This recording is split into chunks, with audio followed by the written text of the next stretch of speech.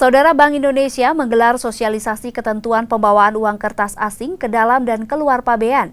Dalam sosialisasi tersebut disampaikan pembawaan uang kertas asing setara atau lebih besar dari 1 miliar harus melalui badan berizin. Pada sosialisasi disampaikan bahwa peraturan pembatasan uang kertas asing mulai berlaku 3 September 2018. Sosialisasi menghadirkan narasumber dari Asisten Direktur Pengelola Devisa, Direktur Hukum PPATK, dan Direktur Penindakan Bea Cukai. Dalam sosialisasi disampaikan peraturan tersebut mengatur di antaranya pelarangan setiap orang membawa uang kertas asing setara atau lebih besar dari satu miliar. Pembawaan uang kertas asing setara atau lebih dari satu miliar hanya dapat dilakukan oleh badan berizin yaitu bank dan kegiatan penukaran valuta asing bukan bank atau money changer yang memiliki izin dan persetujuan dari Bank Indonesia. Apabila ditemukan pihak yang tidak memiliki izin dan persetujuan BI membawa uang kertas asing setara atau lebih dari satu miliar, maka akan didenda 10% dari seluruh uang kertas asing yang dibawa maksimal 300 juta. Selain itu juga dikenakan kepada badan berizin yang membawa uang kertas asing melebihi nilai yang disetujui BI akan didenda 10% dari selisih uang kertas asing yang dibawa. Pengaturan pembawaan uang kertas asing dilakukan untuk meminimalisir adanya aktivitas pembawaan uang kertas asing yang dapat berpotensi mengganggu stabilitas nilai rupiah dan bersinergi dengan upaya pemerintah mencegah tindak pidana pencucian uang. Jadi bagi selama ini kayak uh, money changer mungkin untuk memenuhi uh, kebutuhan nasabahnya dia bawa sendiri nitip dari temannya melalui penumpang. Tapi kalau perbankan mungkin melalui uh, kargo melalui apa namanya paket gitu ya. Karena memang belum diatur jadi nggak dilarang. Nah kami uh, berdasarkan kajian itu tuh kami menemukan itu sangat tinggi. Kalau itu jumlahnya cukup signifikan tentu akan ada pengaruhnya ya sedikit maupun banyak kepada uh, nilai tukar. Apakah yang pertama ini karena itu, nilai tukar yang sedang tinggi saat ini? Iya, no, no. Uh, kan nilai tukar kan baru sekarang-sekarang ini kan uh, kita mengadakan kajian sudah tiga tahun yang lalu, jadi sudah tiga tahun uh, sebelumnya sehingga ya kita ini berpotensi untuk uh, salah satunya untuk mempengaruhi nilai tukar. Sebenarnya mempengaruhi iya, tapi yang satu sisi adalah uh, psikologisnya juga psikologisnya juga gitu. Jadi uh, begitu mungkin uh, ada uh, gejolak ya di nilai uh, apa nilai tukar kita orang cenderung membutuhkan UKA lebih banyaknya. Secara psikologis seperti itu ya.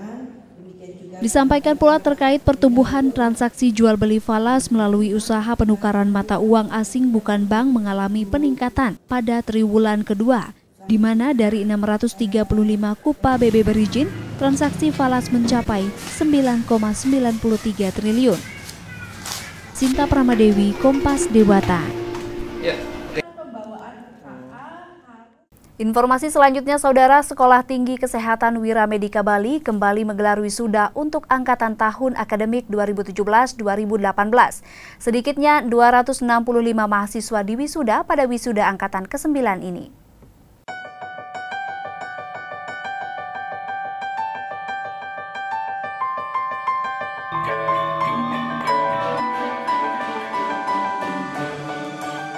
Sekolah Tinggi Kesehatan Wiramedika Bali yang berada di bawah naungan Yayasan Samudra Ilmu Cendekia menggelar wisuda angkatan 9 tahun akademik 2017-2018 yang bertempat di Westin Hall Convention Center Nusa Dua Bali. Sekitar 265 mahasiswa yang terdiri dari tiga program studi, yakni program studi S1 Ilmu Keperawatan Reguler sebanyak 154 mahasiswa, D3 Analisis Kesehatan sebanyak 42 mahasiswa, dan alih jenjang sebanyak 69 mahasiswa di wisuda kali ini. Ketua Stikes Wiramedika Bali Dewa Agung Ketut Sudarsana menekankan agar lulusan Stikes Wiramedika Bali mampu membuka peluang usaha sendiri. Oleh karena itu kami tetap meningkatkan dan memperbaiki sistem dan proses pendidikan agar kualitas lulusan tetap bisa kita tingkatkan ya. Nah, kaitannya dengan lulusan, nah, harapan kami sebenarnya di samping mereka telah dibekali dengan ilmu intelektual yang tinggi, tetapi yang lebih penting kami tekankan adalah berkaitan dengan perilaku, ya, moral, etis, ya, kita harapkan nanti mereka tidak menjadi job seeker tapi menjadi job creator. Jadi bisa menciptakan lapangan kerja yang banyak ya karena memang sesuai dengan uh, khususnya keperawatan ya, sesuai dengan Undang-Undang 38 2014 ada kewenangan di situ bahwa perawat bisa praktik mandiri. Termasuk juga di tiga analis dia bisa buka praktek sendiri, buka apa namanya lab sendiri ya. Jadi itu sudah sudah terjadi, sudah ada kakak-kakak kelasnya melakukan seperti itu. Adapun beberapa mahasiswa yang mendapatkan nilai tertinggi dari masing-masing program studi yakni Putu Ariswa Priyanti S1 Ilmu Komunikasi Reguler dengan IPK 3,56 dari D3 Analisis Kesehatan Nika Dek Puspadewi dengan IPK 3,53 dan Niwayan Erawati dari program studi alih jenjang dengan IPK 3,83.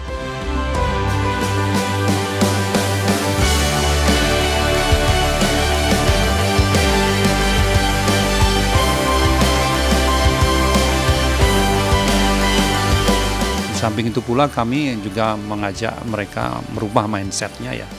Mereka tidak saja nantinya hanya berpikir untuk bekerja di dalam negeri saja ya. Karena ya tentu kalau uh, kue di dalam negeri terus kita rebut uh, maka dengan demikian tentu akan peluangnya akan semakin mengecil.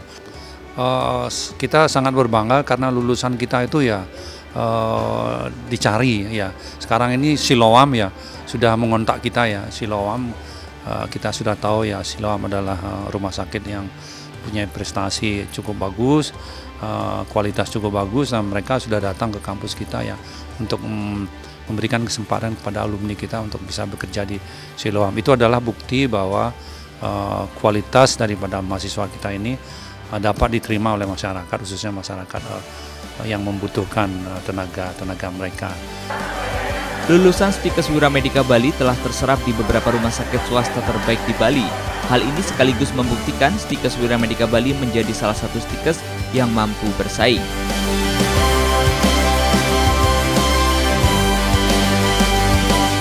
Sang Putu Aryase Kompas Dewata.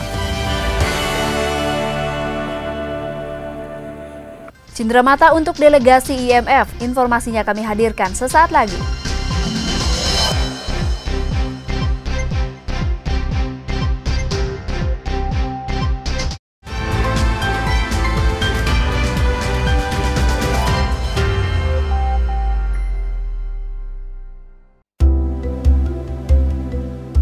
Ale Ayuning Dewasa Sukra Wage Wayang.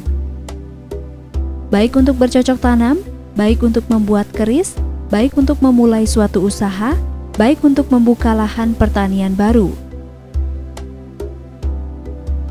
Tidak baik untuk membangun rumah, tidak baik untuk membuat peralatan dari besi.